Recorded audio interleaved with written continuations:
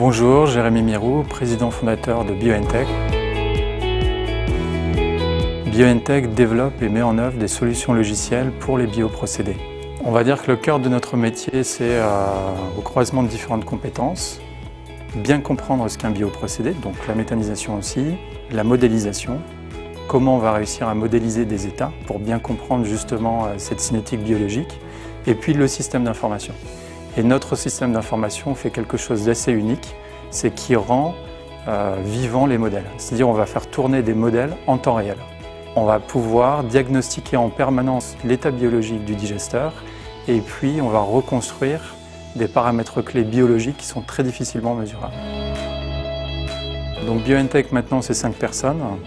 On est aussi accompagné de deux laboratoires de renom, l'INRA pour les activités biologiques et aussi l'INRIA avec l'équipe Biocore pour euh, nos développements informatiques. Et on pense que d'ici à 2-3 ans, euh, on sera une douzaine, voire quinzaine de, personnes avec des profils très compétents et puis un chiffre d'affaires, je l'espère, de 1,5 à 2 millions d'euros. Sur la France et l'Europe. Le cash management, c'est hyper important. Et il est évident que d'avoir été lauréat du concours coup de pouce, et bien évidemment l'apport en cash a permis de pérenniser notre activité et puis de souffler un peu.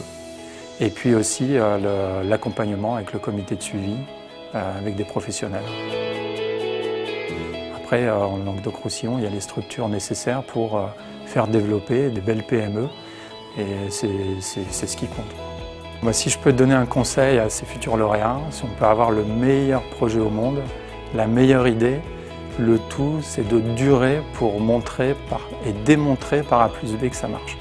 Et pour ça, c'est le cash management, de gérer cette trésorerie. Et le concours coup de pouce est vraiment là pour ça.